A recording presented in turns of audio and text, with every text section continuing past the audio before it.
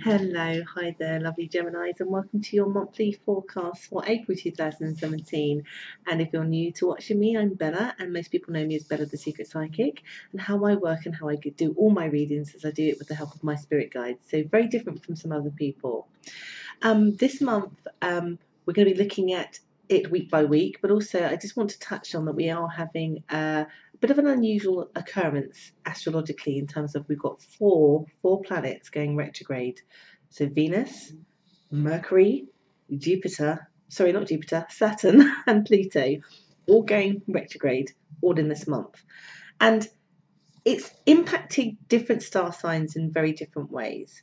And for you, Gemini, my guides kind of want to focus on those Geminis and, and how I do my, my love forecast and normally in a general way, but sometimes, sometimes there can be specific messages for certain Geminis that are on a certain path because of what they chose.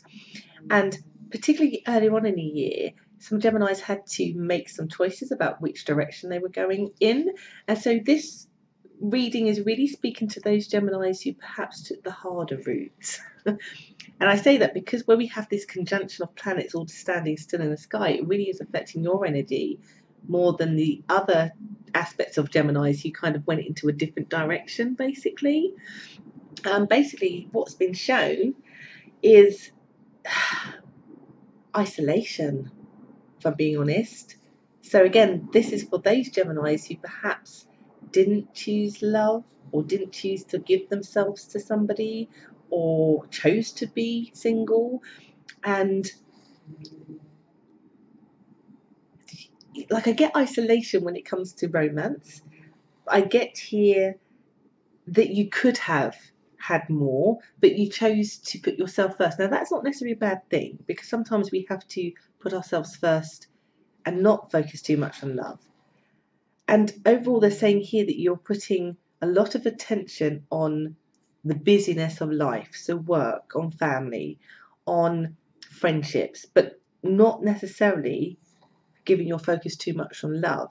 Now, as we start the, the first week, we are still in a Venus retrograde, which normally asks us to focus on romance, but quite a lot of you, and this I think will be across the spread, not just for those who took that path, path of perhaps being single, that all of you feel like your attention is not really on love, it is on the love of other things, the love of work, on children, on self development. And that's against not wrong, but there's like it's almost like you're fulfilling every other aspect of your life, but not the romantic connection side.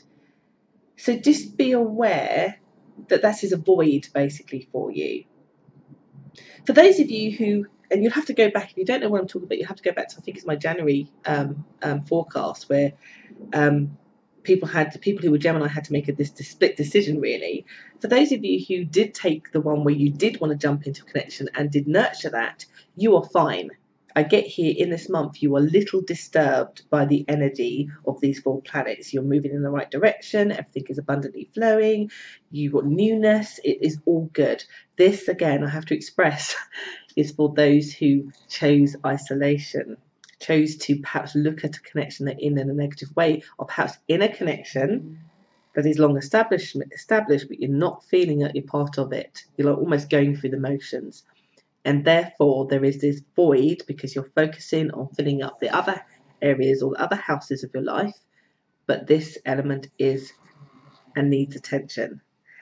So in that first week you are still ignoring that but the second week because we go into a mercury retrograde it, it becomes more magnified because a mercury retrograde will magnify the things that we, we perceive with connections in particular as not being there or not going right. And it feels to me that you start to recognize that you are moving away from matters of the heart and it's starting to make you feel quite lonely and isolated without me sounding over the top.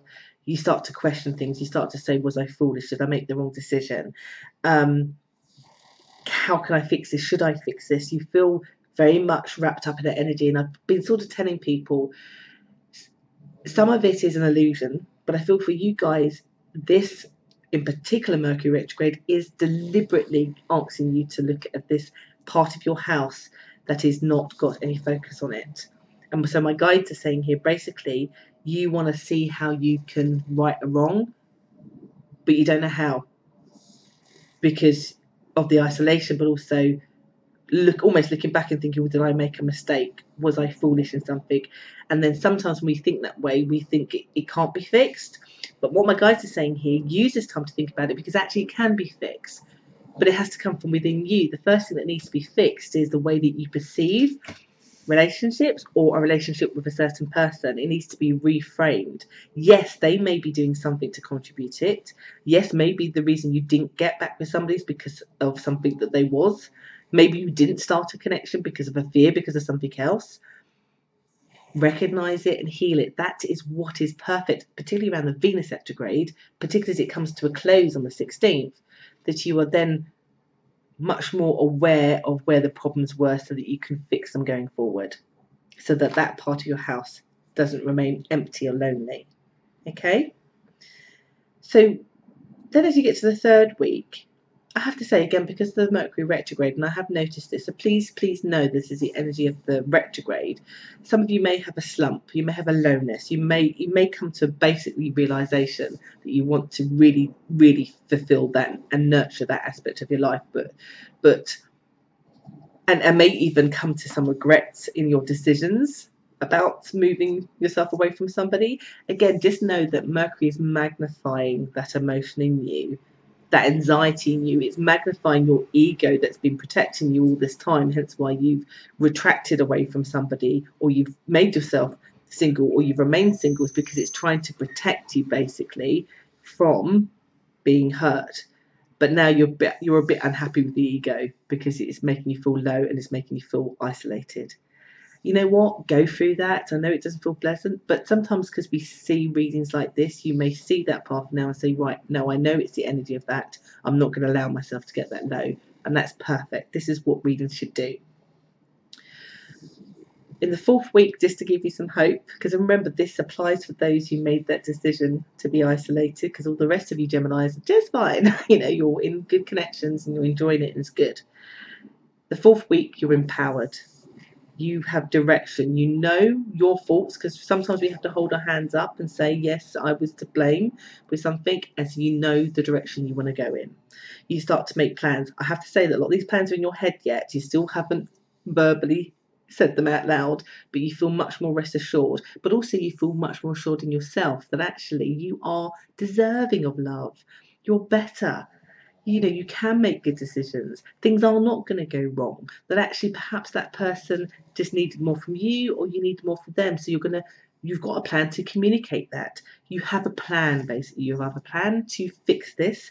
You have a plan to reconnect. You have a plan to do whatever it is you need to do or to ask somebody to do something for you to make things better. And you know exactly how to do it and how to say it and also the when. But it feels like the when is not just yet but the planning of it is definitely happening in that fourth week. You basically know where you're going, you have sight, you have drive, you have direction. You're not going to look back into the past. You're not going to let your ex impact you. You're not going to let old heartbreak impact you. You're not going to let emotions impact you quite in the same way that held you back from giving. So that the house of love got so empty and lonely. Basically, you want to fill it up with loads of different things. So for some of you who are single, been single for a long time, you'll be deciding to start to date in the following months, particularly as we get to May in particular. You'll be starting to put that right. And then as we get get yeah been basically it's just been shown that last week you take action because then as you go into may you align with the rest of gemini's who made that love choice a bit earlier on in the year you align with with with the with with everybody else you know you start to have a happier time. I feel here this is definitely a month of self-reflection the good the bad and the ugly. It's it's helped or not helped you might see by what's happening astrologically with these four planets magnifying their traits getting us to act and be and think in different ways. And just know that this is all happening for your highest good to put you on track and to make sure that the lack that's in your house of love is filled up for you and that's a good thing, isn't it? So I do hope that's resonated for those of you who were supposed to see this, and I hope that you have a good and empowering April as you're intended to do so that you get to your higher self and so that you can draw love in your, to your life. And do know that, this is, that the decisions that you do make and how you go about it are perfect.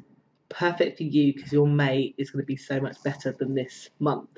Okay, this is not a bad month. It's an it's just takes you on a journey of self discovery, and I hope that's helped. I've been Bella, and again, if you've liked this, do like, do share, do, do subscribe, do comment. I love to hear. And again, if you'd like to know more about me and my services, just look below. Take care now. Bye bye.